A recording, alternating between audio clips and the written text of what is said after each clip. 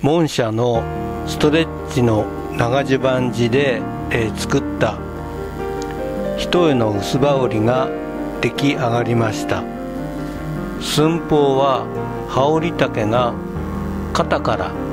肩からの羽織丈が2尺7寸。102センチ。1メーター2.1センチメートルで。で繰越は着物の繰り越しが5分。1.89センチに対応した繰越しになっていて羽織の繰越は7分。2.646センチメートルです。そして雪ですね。雪が、えー、着物が1尺8寸。68.04センチに合わせて、えー、羽織の雪は1尺8寸一部68.8センチ。あと袖幅ですね。袖幅が、えー、着物の袖幅が9寸2分。34.78センチで袖山のところの幅袖山幅が9寸4分。35.53センチにの着物に合わせて羽織の袖幅が、えー、9寸3分。35.53センチで、えー、袖山幅。こここれが、えー、9寸5分。36.29センチ。で袖丈は、えー、着物の袖丈が1尺3寸。49.14センチに合わせた羽織の袖丈にして、えー、羽織の袖丈は1尺2寸5分。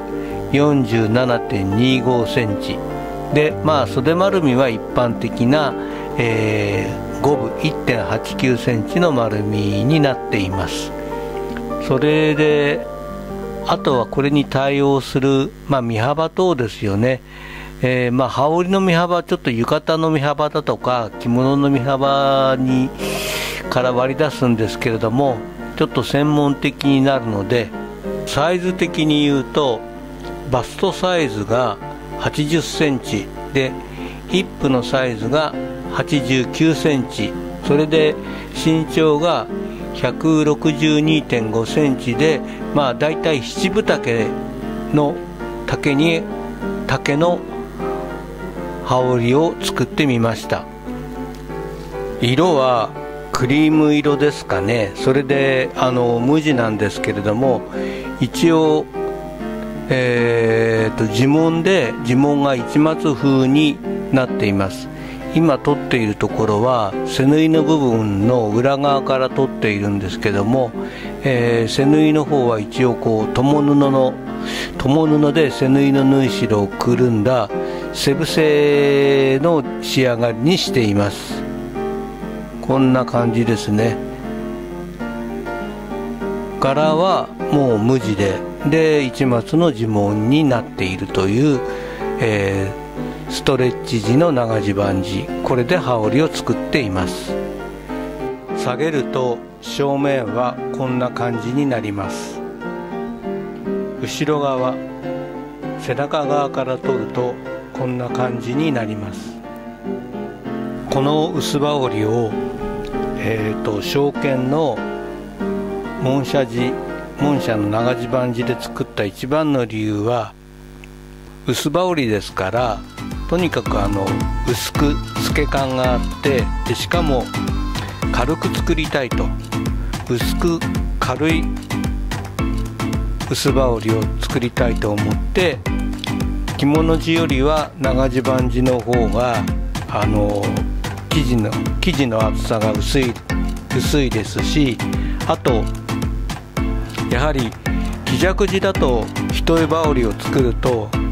えーと多分2メーター以上は残り切れが出るんですよ。それは少しあのその分がまあ、少し余計というかもったいない。で、えー、一重の長襦袢地ですと今回2尺7寸大体1メーターちょっとぐらいの長さですと、えー、ちょうどいい大体10.5メーターぐらいかなの長さがちょうど良かったのでまあそれもあったんですけれども一番のやはり目的は薄く軽くということで今あの測りで測ったところこれですねやっぱり 500g もないですね。あの 310g の重さしかないのでとてもこう軽い。これははあの羽織った時に軽い。しかもあの薄くてこう何ていうの本当にこう薄羽織。軽くて薄い薄羽織になったのではないかなと思っています。今ちょっとメモリを大きく拡大してみます。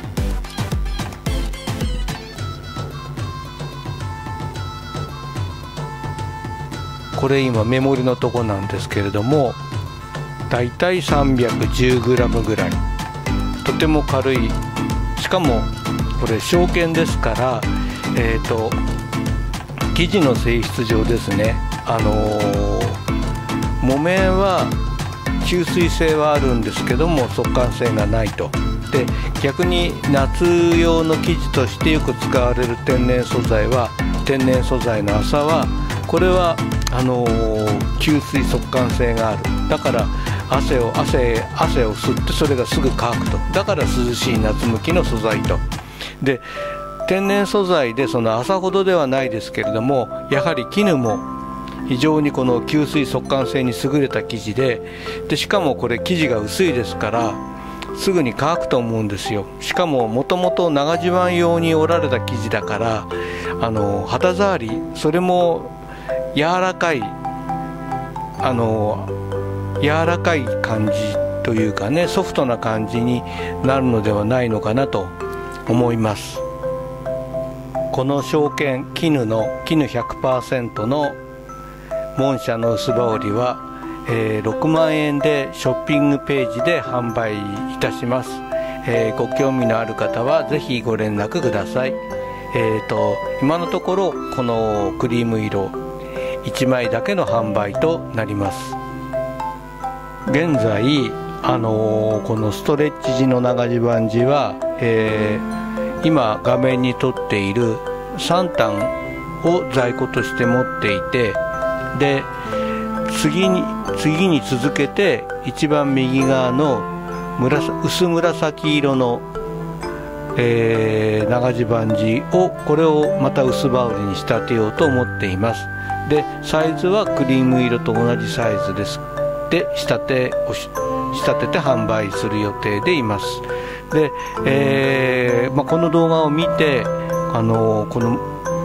一番左側のうぐいす色かなそれと真ん中の薄いブルー青色の、えー、この長襦袢地これで、えー、まあ、長襦袢夏用の長襦袢にまあ、もちろん長襦袢で地になりますし最初に紹介したようにこれから薄羽織を作作りたいと思っている方は、えー、雪ですよね。雪が、あのー、羽織で一尺八寸一部68.8センチ。これ以上にはもうこれ布幅の関係でこれ以上上がらないんですけれどもえー、それ以下のサイズであるならあと羽織丈もだいたい1メーター2センチぐらい。それ以上になってくると、まあ、もう少し出せるかもしれないですけどね、あの